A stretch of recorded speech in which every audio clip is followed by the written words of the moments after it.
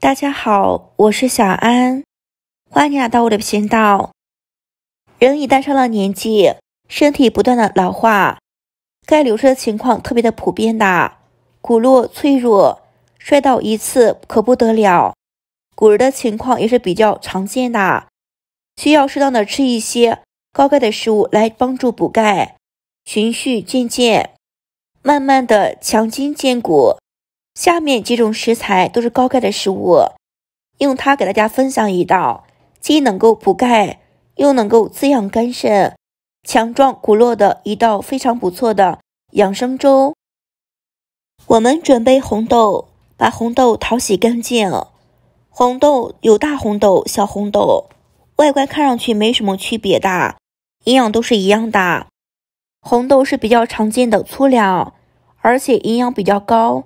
可以在我国多地种植，具有增强食欲、抗风湿以及减少胆固醇、补钙、改善便秘的功效。红豆里面含有维生素、钙质以及蛋白质多种矿物质，营养价值比较高的。同时还有人体所需要的脂肪，是比较健康的保健食品，用于促进食欲。达到增强食欲的效果。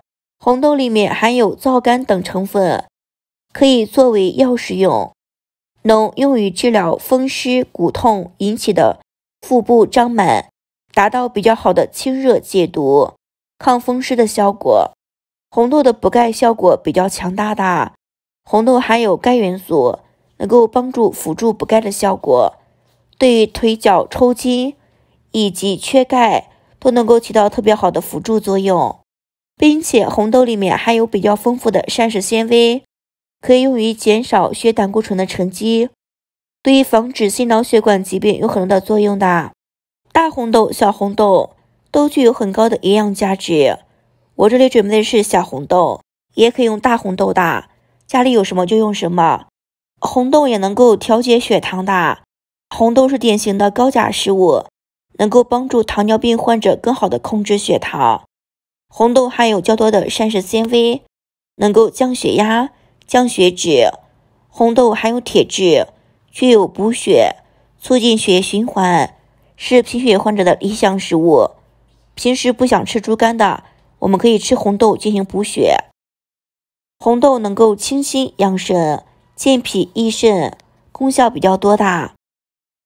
再准备紫米。淘洗干净，紫米主要含赖氨酸、色氨酸、维生素 B 一、维生素 B 二、蛋白质、叶酸、脂肪等多种营养物质，以及铁、锌、钙、磷等人体所需要的矿物元素，具有健脾益胃、补血养血、润肠通便的作用的。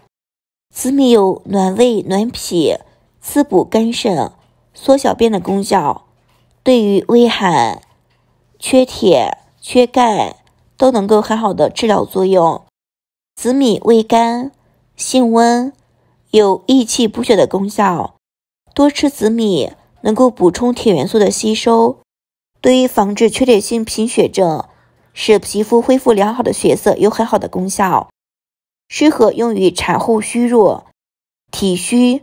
贫血的人食用的紫米膳食纤维比较高，可以促进肠胃的蠕动，加速粪便的排出，起到润肠通便，对预防动脉粥样硬化有帮助。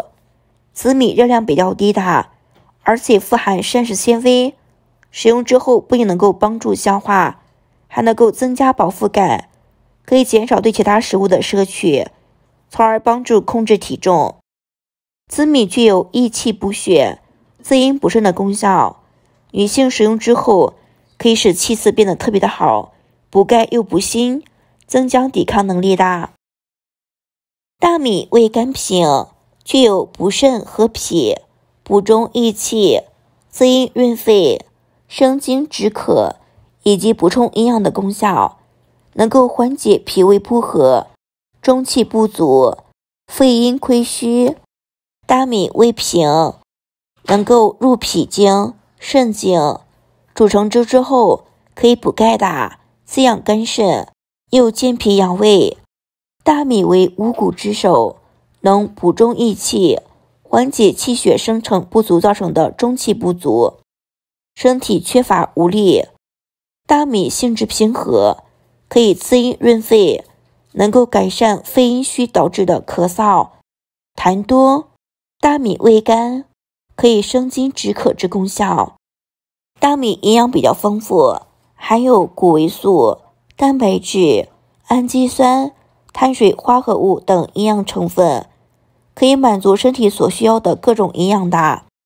花生是一种富含蛋白质、脂肪的坚果，含有比较丰富的钙、铁、镁、磷、锰等等，能够为机体提供所需要的维生素、矿物质。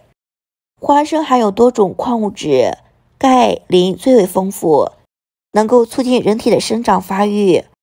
人体所需要的氨基酸、卵磷脂和脑磷脂在花生中含有丰富。卵磷脂和脑磷脂花生中含量特别的丰富，这些物质在促进生长发育、增强大脑的发育、延缓大脑功能很有好的。花生中含有的白藜芦醇作为一种抗氧化、抗肿瘤的有效物质，在预防肿瘤疾病。心脑血管疾病的方面有很好的作用。花生中含有不饱和脂肪酸，不饱和脂肪酸具有降低血液中的胆固醇含量，所以具有很高的营养价值的，营养比较丰富。接下来把我们准备好的所有食材倒入锅里面，加入清水，中火焖煮三十分钟。焖煮好之后，我们加入牛奶。搅拌搅拌就可以直接喝啦。牛奶含钙量特别高的，含有比较丰富的蛋白质、脂肪、钙、磷等物质，不仅含有钙比较丰富，而且容易被人体吸收，可以为人体提供部分的钙剂。牛奶中含有的钙含量比较高，通常一百克普通牛奶中约含有一百一十 m 克的钙。日常喝一些牛奶。又营养又美味的牛奶中含有的钙以脂溶性钙为主，机体较容易吸收。牛奶中含有大量的酪蛋白、维生素 D 以及必需氨基酸，能够促进机体的对钙吸收。尤其是老年朋友们可以多喝牛奶，补充钙质，预防骨疏松的流失的。这道汤具有非常好的补钙作用，经常喝一喝。可以强壮身体，增强钙质。做法比较简单的，用到食材就是我们家里有的食材。喜欢的朋友们收藏起来试一试。